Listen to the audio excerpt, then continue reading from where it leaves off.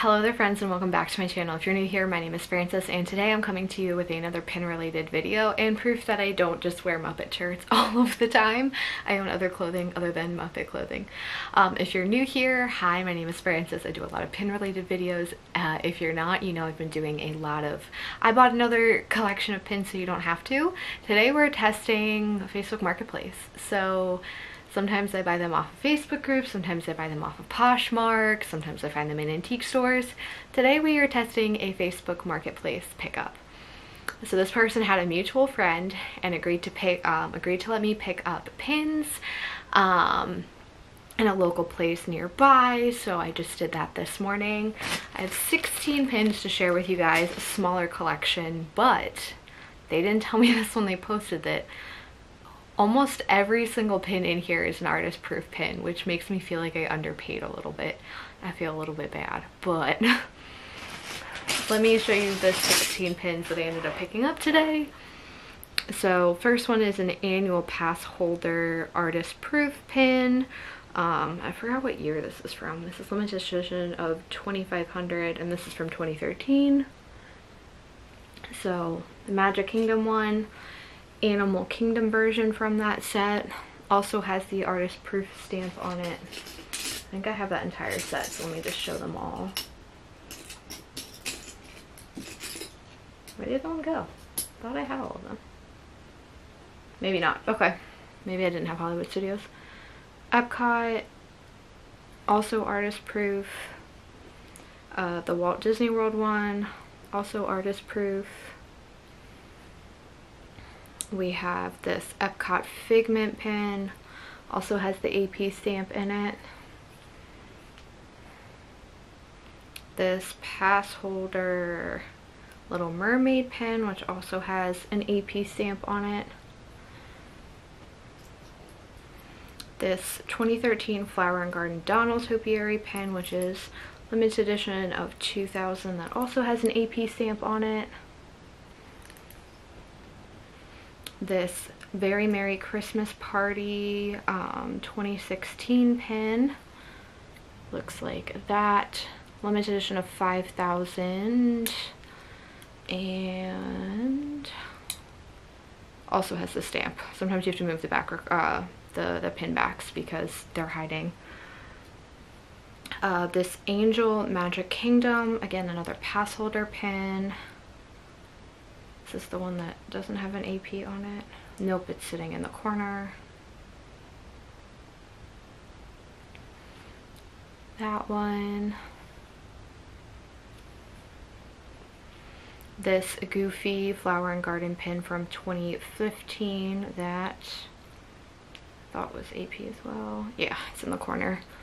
AP as well. This one I think was the coolest one in here. This is a Pixar 30th anniversary limited edition of 500 artist proof pen of Flick. I feel like you don't see a lot of Bugs Life pens. And this element moves, so I thought this was really cool because it was limited edition of 500 and artist proof. Um, this Animal Kingdom, or Flower and Garden pin from 2014 featuring Rafiki that's limited edition of 3000, also artist proof. uh, this Olaf Very Merry Christmas Party from 2014, also artist proof and limited edition of 2000.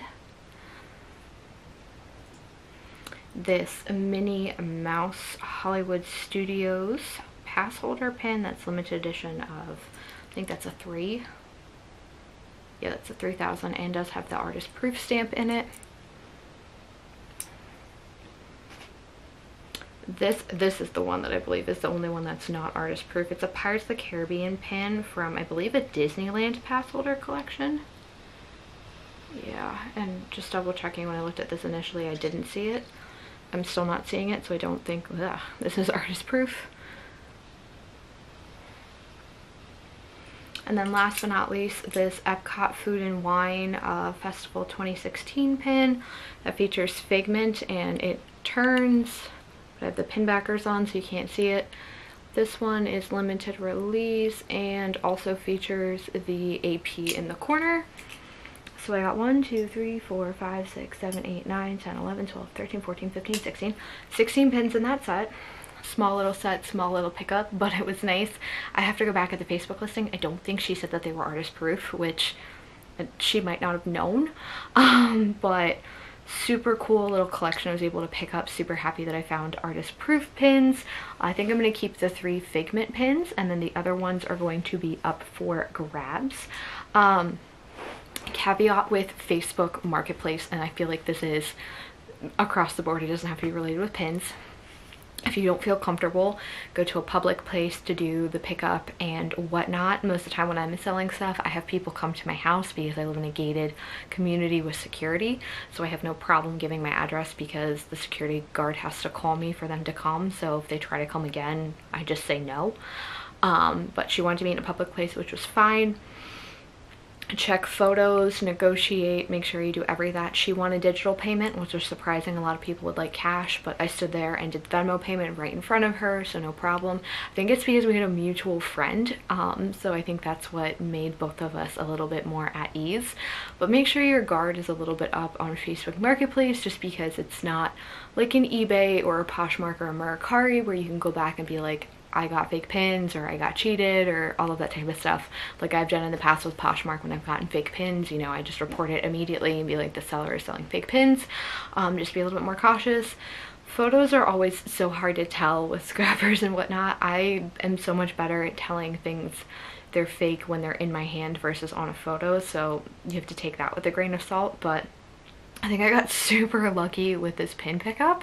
Um, so I cannot complain at all. So Facebook Marketplace right now gets glowing reviews from me as a place to buy pins, but that could change tomorrow. I could have a really grabby experience tomorrow.